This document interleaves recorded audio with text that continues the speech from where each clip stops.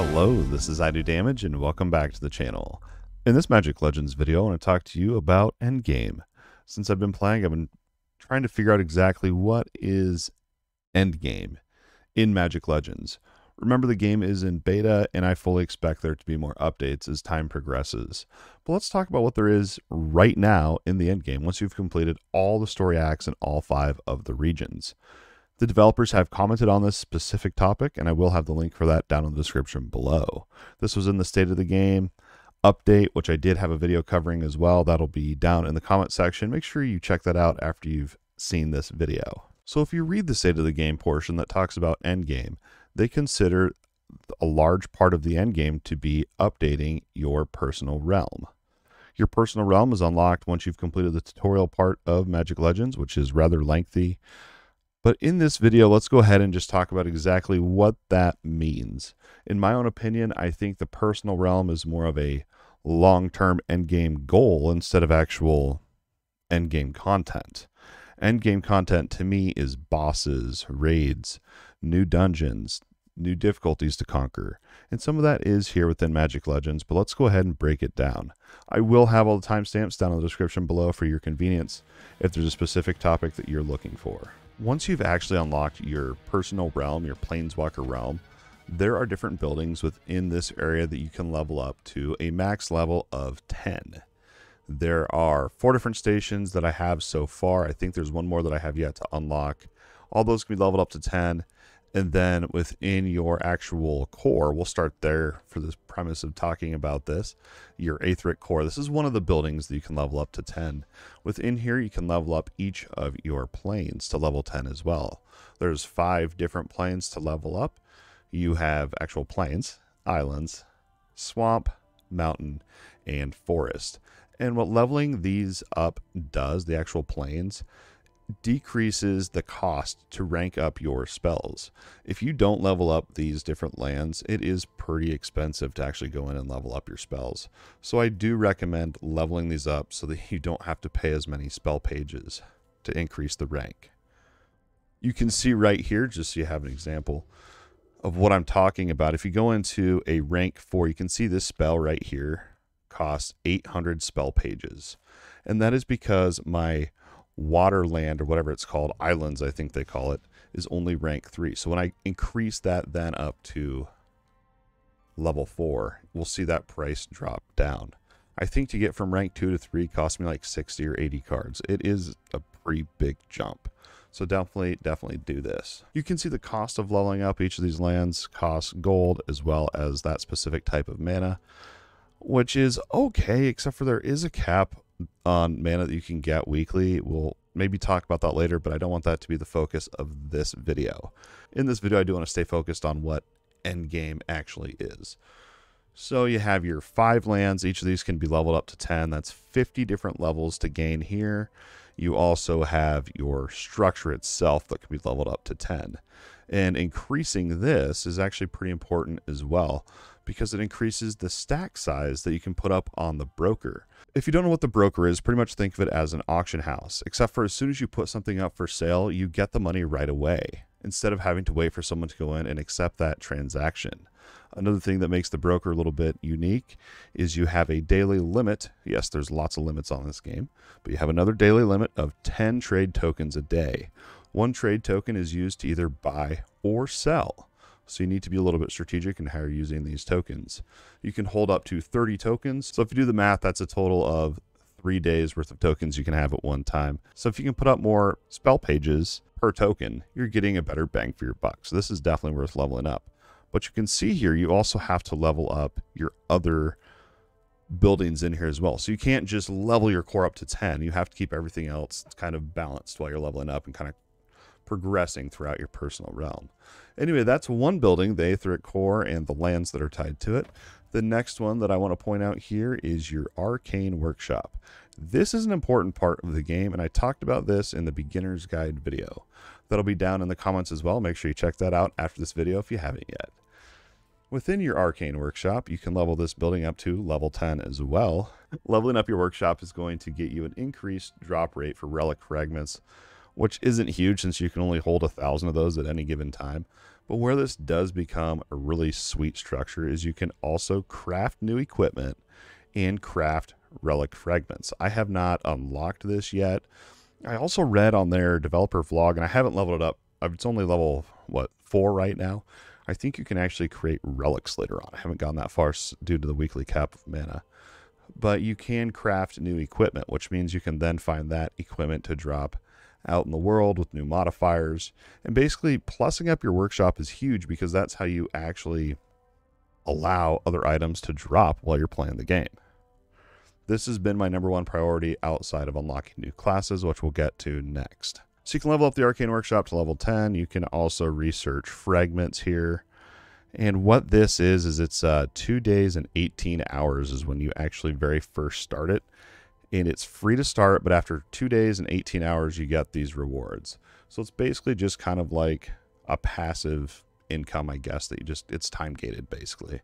But it's free and it's something that you can just gain while you're playing the game pretty much. Just make sure you don't already have a thousand of these common relic fragments, otherwise these 50 would be wasted. You can also do, and this is where I would argue the game is a little bit pay to win. Again, not what this video is about, but this is that was a little bit of my opinion there. You can come in here and you can pay Aether to unlock relic fragments right out of the gate. This one right here, this Aether Rush isn't huge since it's just relic fragments and they're really easy to get. I would say this is a waste of Aether but it's definitely an option and it's there. The biggest part of the workshop, though, is unlocking new item drops and new things that you can find while playing the game. So definitely level up the workshop. That's building number two in the personal realm that they have. And remember, this is what they're calling endgame, guys, is leveling all of this up. So now we have the Mana Vault. The Mana Vault can also be leveled up to 10. Within here, you can generate planar mana of all colors you can also refine orbs of shadow that are obtained from world bosses.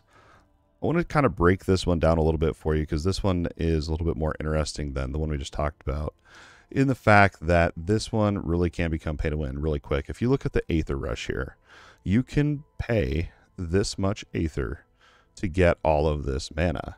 You can buy refined Aether with Zen through the game's exchange. Keep in mind though, mana obtained this way still counts towards your weekly cap. So don't come in here thinking that you're going to go past your weekly cap on this. It'll just convert this over to gold with a two to one ratio. So it's two gold per one mana. So you can do the math there. Definitely not worth it if you're already weekly capped. But if you're out of time, you can't get to your weekly cap, and you would come in here, knock these out. It's okay but really the weekly cap's not hard to get. You can level this thing, like I said, up to level 10. I think that as I level this up, I'll unlock a new way that I can harvest more mana. Pure speculation again. I haven't made it that far yet. It's only level 4. But this works the same way as the relic fragments over on the other structure of the workshop that I showed you. It's a two day, 18 hour process. Free to start, but you get mana at the end of those two days and 18 hours. And I want to let you know that if you are weekly capped. You come in here and claim these. They do not count towards your weekly cap. I tried it. I should have read this first, but yeah, if this is complete, you're already weekly capped. I would recommend just waiting for the weekly reset, which I believe is every Tuesday at 10 a.m. Pacific Standard Time. But that's what the Mana Vault is, your Harvest Mana, and your Aether Rush. This is what I want to talk about, though, and this is a this is a big part of the end game that you should know about basically is when you're out fighting world bosses. These are not the mythic encounters. These are world bosses, okay? So when you're in an overworld, there's five overworlds, right? When you're in an overworld and you're out doing skirmishes, you're killing those mythic encounters, you're taking down mana towers, rather defending those mana towers, doing those different events. You're going to be getting this charge in the overworld that's that yellow bar, and when that's full, a world boss will spawn into that map. It'll say echo of and then whatever region you're on or whatever boss it is and you'll go into that. It's an unmarked little blip that you can find in the overworld. You go into that portal you fight the world boss and when you kill it you get an orb of shadows you can only get five a week but this is what you do is you bring that orb of shadows that you got from the world boss and you turn it in here it completes instantly and you get all this okay that's all it is. That's all it is. Once you've killed and gotten your five coins for the week, world bosses past that point, at least at this point in the game, are super unrewarding. And I think that's a huge, huge design flaw because that's supposed to be the pinnacle of the overworld progression is getting that world boss to spawn, taking down that world boss. It's just not rewarding as is. I could go on and on about it, but I don't want to. I want to focus on what they're calling endgame. That's building number three of your personal realm. Next up, we have my personal favorite. This is the Mystical Study. The Mystical Study can be leveled up to level 5 and is the primary place you're going to come if you want to unlock a new class for your Planeswalker. The first class that you unlock is pretty cheap. Currently, I'm working on my second class to unlock, which will be it'll be my third class overall because I started out as a Necro. I unlocked the Geomancer, because once you get a character to level 30, you unlock its trait. You can have three traits equipped on your character at one given time. The Geomancer is nice because it gives you, when you die, you can come back to life one time with like 25% of your health, and then you regen some more health. Just a nice way that when you get one shot, you can come back to life and try to get your redemption. Right now, I'm trying to unlock the third class, and that's what these costs are right here. Pretty freaking crazy, dude. It's pretty crazy. The first one didn't cost near this much. It was significantly cheaper and way easier to actually obtain. I mean, if you look at this, dude, this is a fifth of your weekly cap on mana. And the price is going to increase. So even after this, I have two more after this to unlock. I, don't tell me, and I'm scared to see what the prices are going to be for them. But anyway, this is how you unlock your new starter classes or you can pay $15 on the cash shop to unlock a class outright. Just keep that in mind there. But I mean, look at this, dude. 100,000 Aether. That's two days of Aether caps. Or you can buy Zen and, you know, buy Aether. Anyway, back to the end game. I keep getting off topic here. So within the mystical study, you can get this thing up to level 5. You can research new classes, new spells, and create spell pages. We talked about our starter classes. This is another one of those. I just started this one a little bit ago. It's uh, two days, 18 hours, and you get a handful of spell shards. If you read, though, and this is the catch, if you read right here, it says equivalent to two story missions. I guess these are spells, but if you come down here to planar mana, you can actually get spell pages for spells you currently own, equivalent to four story missions. So I messed up. I shouldn't have started this one. I, I should have gone down here. I wish I could cancel this and redo it. Anyway, don't make the mistake I made. Once you've unlocked this research spells planar mana down here, make sure you're doing that one. You're going to get double the amount of spell shards. Now I have to wait two days and 17 hours to do that one. Anyway, and I'm pretty sure I unlocked this one by leveling up the mystical study here. And then so Mystical Study, I'm sorry I keep getting off track here, but Mystical Study can level up to level 10. You can unlock your starter class. You can research these spell pages here. You can unlock double the amount down here, it, which is it takes the same amount of time. I think the thing that's different here is this one's free, but this one costs the 1,000 mana and 10,000 gold. I think that's what the caveat is here. And then you also have your Aether Rush that if you want to spend Aether to buy spell shards, don't do it. It's a waste of money. But if you wanted to, you could. But what makes the mystical study really important and really cool here is 30% of the spells that you can unlock within Magic Legends will come from this building right here. As you level up the mystical study, more cards will become available for you to unlock by paying Aether, Gold, and Mana. Some cards are going to cost more, like as you unlock more and level up your mystical study, those cards you unlock, the price will increase on them. But there's some pretty cool cards in here. Not going to talk about them all, but but there's multiple for each type of mana. You can come in here and, and check them all out.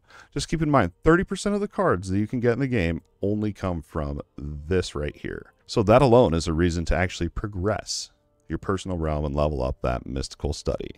That was building number four in your personal realm. I think there's one more building over here that I haven't unlocked this yet. I don't know what it is. Maybe that's the crafting station. I don't know. I'll have to get back to you when I unlock it and let you know what that is. But if so, that's a whole other building you can level up to five. I'm guessing that's where you craft different things. I don't know. If someone has it unlocked, you can let us know down in the comment. That'd be great. Appreciate you. That's one part. That's that's pretty much I would say like half the end game basically is this long-term progression. But to me, this isn't really end game content. Sure, it's something to be working on in the background while I'm playing the game, but where's the actual end game content? End game content to me is content that I play past the story, right? Within Magic Legends, this is what they are calling the actual end game content that you can play. Let's go ahead and talk about it right now. These are your missions, ordeals, and overworlds. There are five overworlds, which we will go ahead and talk about first. You have Gavony and Tazeem. This is the dark magic. This is the green. This is the starter tutorial green realm. And then within here, you have these three overworlds as well. They're each tied to their own mana type. But each overworld you can actually change the difficulty of. There's four different difficulties that you can play on normal, hard, expert, and master. This is what they're considering endgame to be.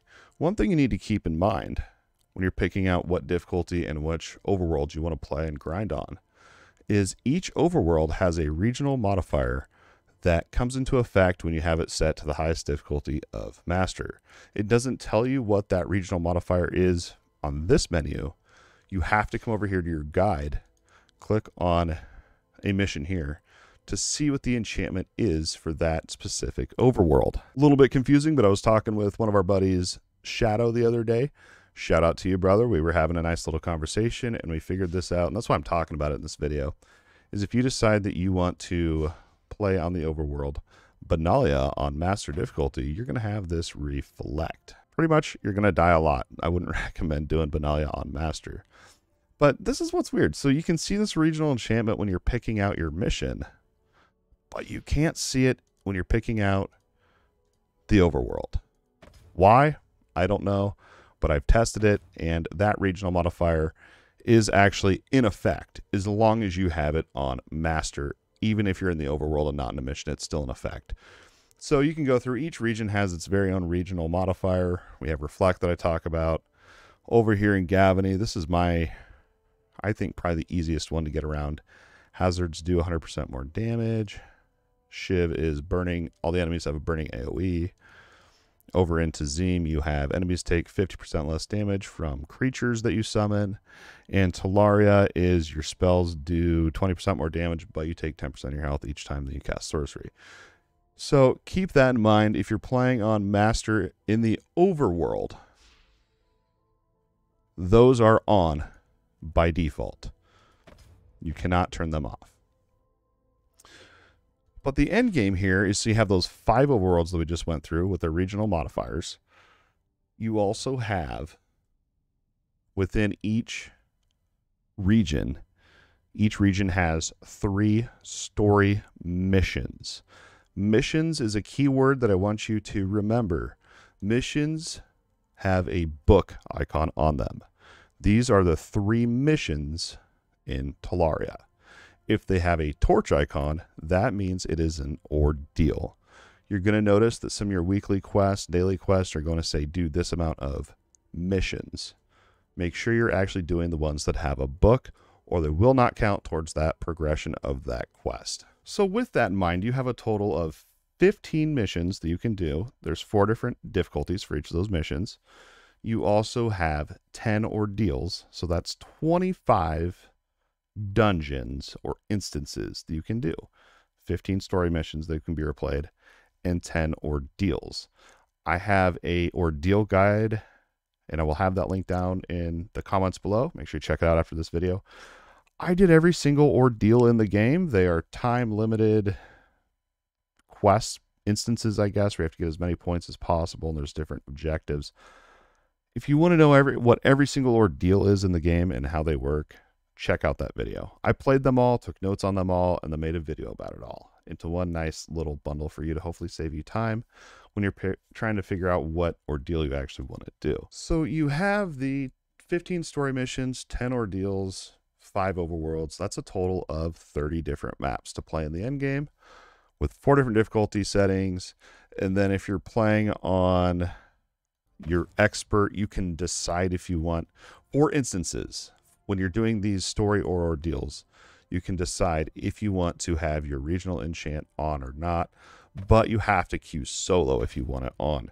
If you're matchmaking, it's off by default. Same thing applies to world enchantments. which these these are a great way to increase your rewards while also increasing the challenge of that mission as well. Normal difficulty and hard difficulty can be played at any character class level. You cannot play on master or expert until you've hit at least one class level 30. At that point, you can turn it up, and the jump in difficulty is significant. It, there's really no in between here. It's it's a big jump in difficulty, and I, I think the difficulty curve is a little bit too steep at times, just because you get straight up one shot. It's not even like a fun difficulty thing. It's just you get one shot, and there's nothing you can do about it. But if you're playing on expert, you can decide if you want that regional modifier on or off, and then put on whatever world enchants. I've been selling all mine because it's a great way to make gold, but you can have three world enchants. Now, if you turn it up to master, the original enchant is on, and you have no choice. Even if you, I think, even if you use the dungeon finder system, but that's pretty much how difficulties and all the missions work in the end game. So now that you know what the end game is within Magic Legends, you know that there's the personal realm and you have the 30 different maps that you can do. And the, those 30 maps include the 15 story missions, the 10 ordeals, and the five overworld maps. I want to share my thoughts. I think the end game's boring. I really do. I think the end game's boring. But I enjoy playing it. That's the weird thing is I really do enjoy running around the overworld the most. I love just running around, bouncing into other players and doing events. I find it really, really fun and relaxing. The only issue I have is those world enchants that you can make a lot of money off of only drop from missions and or deals. I haven't got a single one to drop in the overworld at least. Which isn't a huge issue, but I guess my main concern with the endgame currently, and it's in beta, so hopefully they add more things to do. But once you've completed all the story missions in all five of the zones, those missions and ordeals you do during the story, and so you've already seen them all. There's no new content after the stories. I think it'd be really cool if once you completed all five regions' stories, you unlocked a whole new end game zone that maybe had random regional modifiers, maybe a PvP thing turned on, actual rewarding world bosses, different types of events, a whole new loot tier. There's so many things that they could do to actually add an end game. The end game right now, pretty much, is make your own goals. Do what you want in the end game. Have fun. Right now, the end game is literally whatever you want to do. And I think for most people, they complete those stories of all the regions and, you know, they've seen all the content. They've done it all. They've done all the mana towers. They've done all the skirmishes. They've hit their weekly and daily caps. Why keep playing? I had that. I was I was four days into the weekly reset and I hit the weekly cap on mana. And I really didn't feel any incentive to keep playing other than to farm gold for whatever reason, I guess to unlock my new class. But I don't know. I hope they add something that's more engaging and more fun. And I don't mean to say that it's just really grindy. It is. The game is really grindy. And I don't mind it because action RPGs typically are grindy and repetitive. You do the same maps over and over to find loot. I played for eight hours the other day and I found no exciting loot. I think I found one new card that wasn't even for my deck. I find a lot of items that drop in the game as well that are just unexciting. The loot is horrible in this game and really boring. I think if you're going to make us grind and grind and do the same maps and missions and skirmishes over and over again, make the loot exciting. I want to have that moment of, oh my gosh, this just dropped on the floor. This is sweet. This is a sweet item. This is gameplay changing. And that does exist, but not very often. And when it does, usually the loadout score on that specific piece of equipment is lower than what you currently have equipped. So I don't know. I don't know what the answer is. I don't have the answer, but if I'm being honest with you, the current end game is relatively boring. I think the game is still definitely worth checking out, and I'm kind of getting off track here. I wanted to just keep this focused on endgame, but overall, the game itself is interesting. It's unique, it's open world, it has that MMO light that I've been looking for from an action RPG, but it's definitely, and I've realized this, that MMOs and action RPGs are very hard to combine successfully especially on Magic Legends, it's definitely more of an MMO than it is an action RPG. That's a whole other topic for a whole other day and a whole other video. That's going to be it for this Magic Legends video, though. Hopefully, you now understand what the end game is within Magic Legends and if it's something that you want to invest your time into. I hope you enjoyed this video and all the content on the channel. If so, don't forget to like, subscribe, or ring that bell to get notified when I post new weekly videos and also when I do go live. I typically stream here on the YouTube channel on Fridays and Saturdays. Occasionally, I'll do some pop up streams over on Twitch as well throughout the week. I appreciate y'all, and don't forget, your view means the absolute world to me. As always, thanks for watching, and we'll see you next time.